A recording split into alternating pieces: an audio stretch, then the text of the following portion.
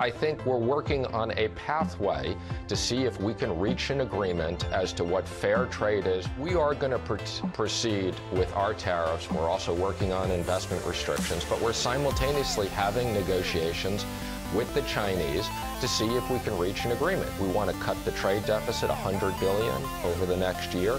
We want to eliminate forced joint ventures, forced technology, and we're having very productive conversations with them. Uh, I'm, I'm cautiously hopeful we reach an agreement.